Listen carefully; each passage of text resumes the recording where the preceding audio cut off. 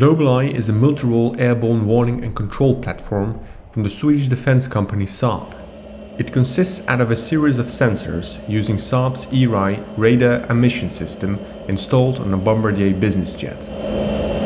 Saab launched the program in 2016 to install their Erieye radar system upon a Bombardier Global 6000, a long-range business jet to produce specialized airborne warning and control or AWACS aircraft. The range of the radar is estimated at around 450 kilometers. In addition, GlobalEye is capable of detecting and tracking a combination of both airborne and surface targets, either on land or on sea, while mission times can go up to 11 hours.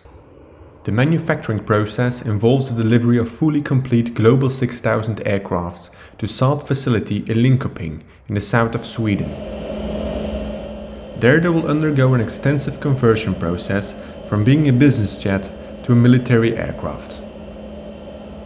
On the 23rd of February 2018, Saab unveiled the first GlobalEye surveillance aircraft. On the 14th of March of the same year, the first aircraft conducted its maiden flight from Linköping.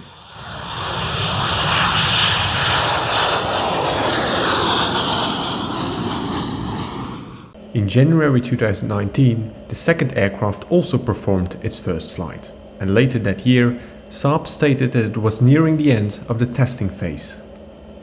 This meant that the first sales contracts could be negotiated, and the GlobalEye received a price tag of around 170 million US dollars.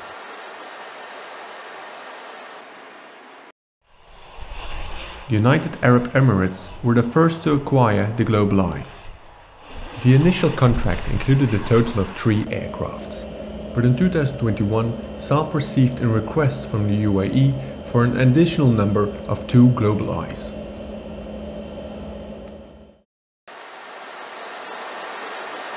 Sweden obviously also followed and placed an order for a total of two Global Eyes.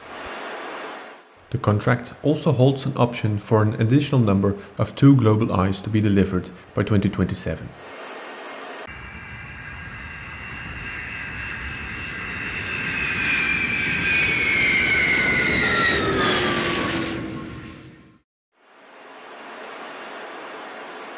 It's no big secret that NATO is looking for a replacement for its current aging fleet of E-3 Sentry aircrafts.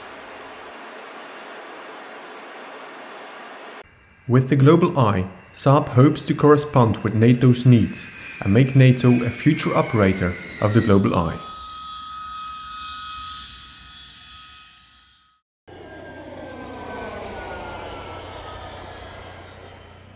Greece is also a potential future operator of the GlobalEye, as they are looking to replace their current AWACS fleet in the upcoming years.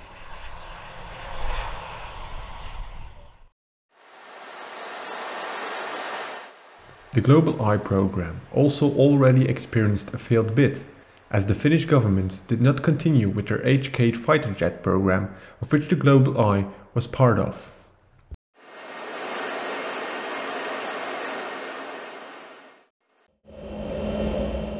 The Global Eye also faces some competition for future programs.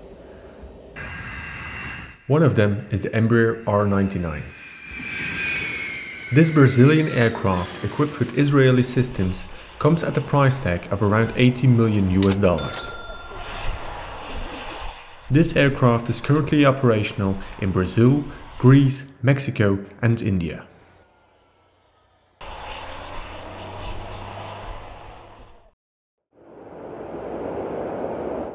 Another potential competitor is the Casa C295. The plane, which is built by Airbus, costs around 45 million US dollars. There are a lot of customers for this aircraft, which include Chile, Ireland, Portugal and Spain.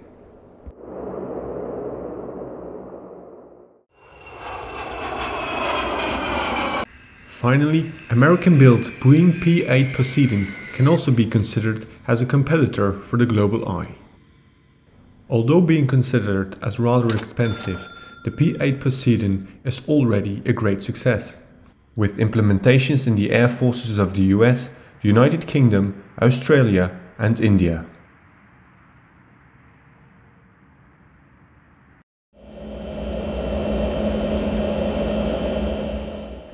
The Global Eye can sure be a valuable asset for many air forces around the world. Which air force do you believe could use the Global Eye? Or are there any other competitors? Share your remarks in the comments down below and don't forget to subscribe.